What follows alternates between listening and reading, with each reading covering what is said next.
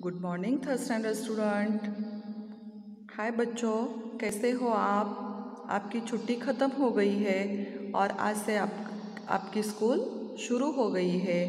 तो बच्चों, हमें भी बहुत इच्छा है कि आप हमारे स्कूल आए और हमें, हम आपको पढ़ाए, लेकिन ऐसा नहीं हो रहा है। कुछ दिनों के बाद फिर से क्लास शुरू होगी और आप और हम साथ में पढ़ेंगे। ठीक है? तो बच्चों, आज के लिए हम ये रिवीजन स्टार्ट कर रहे हैं। पाठ नंबर चार निकालिए। पाठ नंबर चार। तो बच्चों, हमें वर्णमाला देखनी है। स्वर व व्यंजन का पुनराभ्यास करना है। स्वर व व्यंजन का पुनराभ्यास करना है। स्वर में क्या आता है बच्चों, पता है आपको? स्वर में ये क्या है? अ से आहा तक स्वर है और व्यंजन क से श्र तक होते हैं।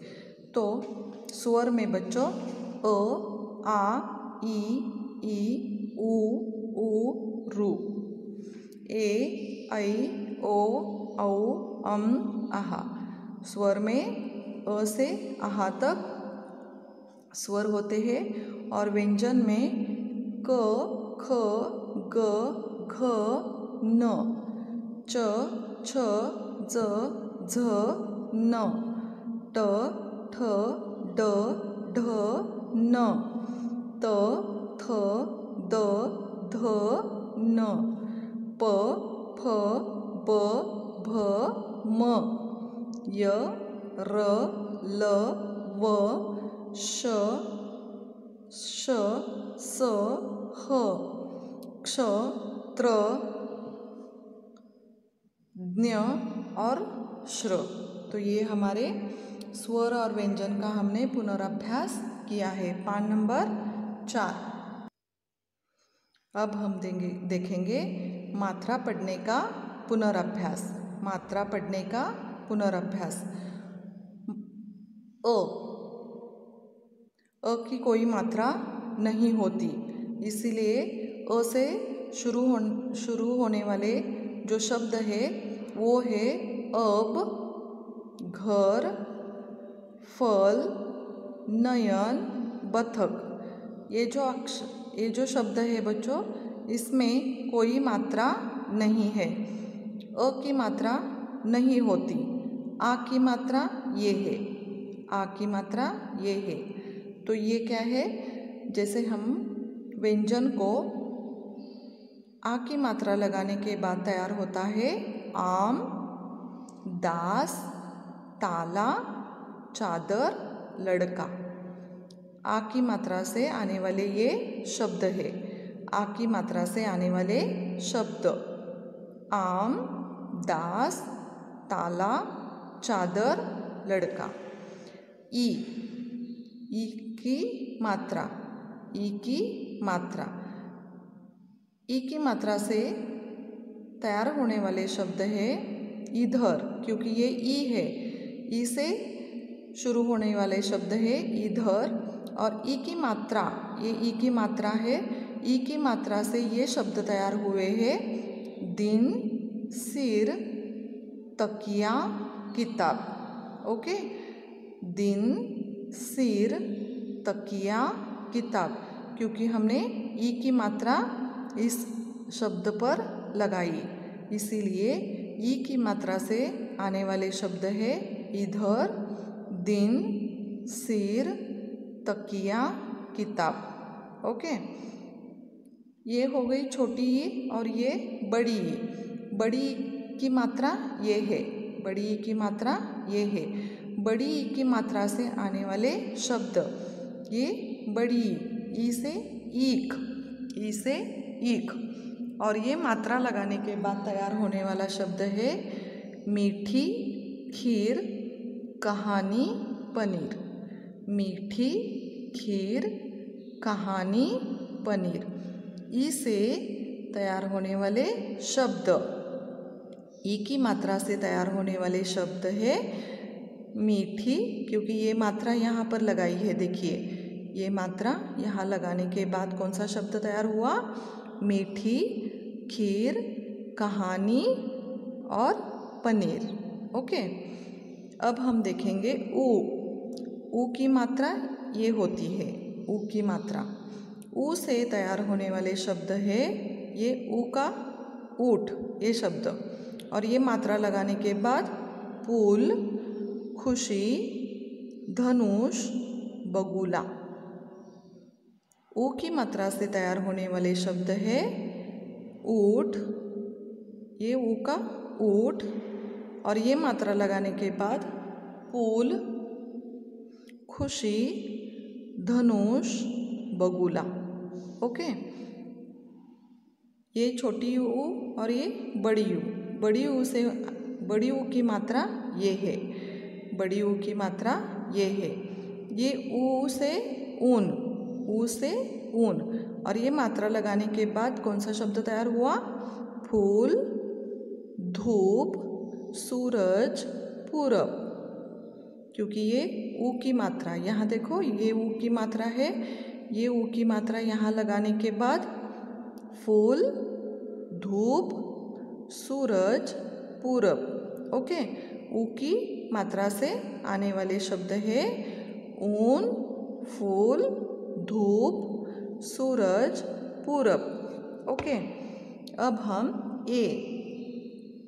ए से एडी पता है ना आपको? ए ये एक ही मात्रा है एक ही मात्रा है, एक मात्रा इसे कहते हैं। ऊपर ऐसे ये है ना, इसे एक मात्रा कहते हैं। ए से एडी पेड़, क्योंकि ये एक मात्रा है, ऊपर एक मात्रा है, इसलिए ऊपर हमने ये एक एक मात्रा लगाने के बाद कौन सा शब्द तैयार हुआ? पेड़, सेब, गणेश, केतकी। पेड़, सेब, गणेश, केतकी। ए से तैयार होने वाले शब्द है एड़ी, पेड़, सेब, गणेश, केतकी। ओके? अब हम देखेंगे ऐ ऐ की मात्रा ये होती है, यानी ऊपर दो मात्रा होती है। ऐ की दो मात्रा होती है। समझ में आ गया? तो ऐसे आने वाले शब्द है ऐनक, बैल, पैर, मैदान, फैसला। ठीक है? ऐ की मात्रा यहाँ देखो बच्चों ऐ की मात्रा। ऐसे आने वाले शब्द है ऐनक बैल, क्योंकि ये दो मात्रा इस शब्द के ऊपर है, देखो।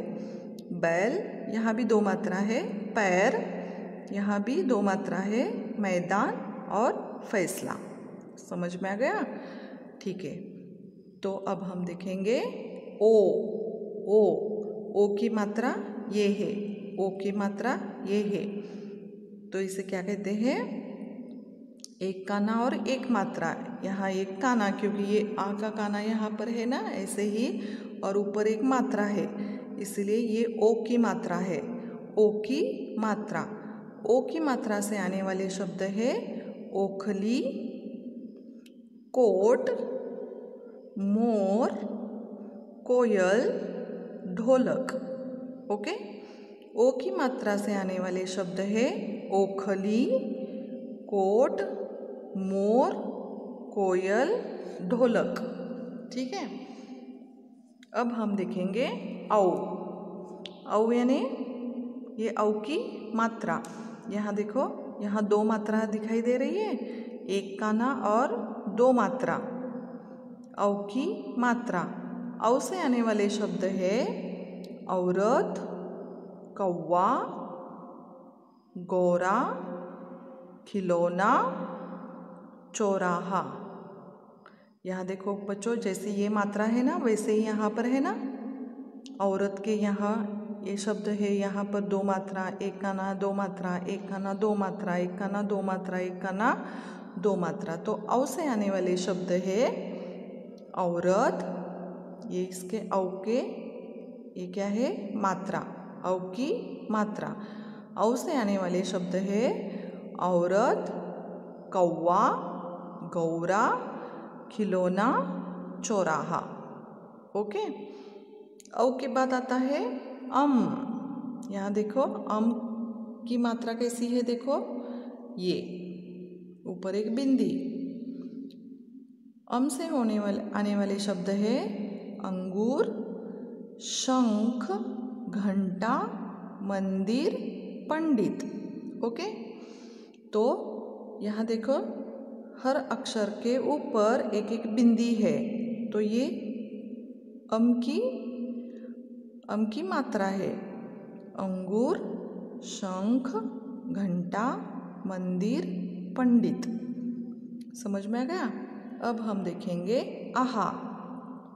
अब हम देखेंगे आहा। आहा यानी क्या देखो बच्चों, ये विसर्ग। यानी ये से दो बिंदु है यहाँ।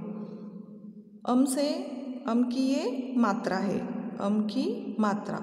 अम अम सॉरी आहा की मात्रा है। आहा की मात्रा, आहा से आने वाले शब्द है आहा प्रातः नमः पुनः स्वतः जब हम ये आहा के शब्द आते हैं तो बहुतांश ये शब्द संस्कृत के होते हैं। संस्कृत के ये शब्द होते हैं। जैसे देखो यहाँ, आहा, ये देखो, आहा, यहाँ दो बिंदी आती है। इसे हम क्या कहते हैं? प्रातः, नमः, पुनः और स्वतः। तो जब यहाँ दो बिंदी आती है तो आहा आहा का प्रयोग होता है। तो बच्चों, मात्रा पढ़ने का पुनराभ्यास हमने यहाँ पर किया है। आपको क्या करना है? पान नंबर चार और पाँच पढ़ना है और आपको लिखना है आपके नोटबुक में। समझ में आ गया? आज का क्लास हम यहाँ ख़त्म करते हैं बच्चों और कल हम नया पाठ सीखेंगे। ठीक है? Thank you.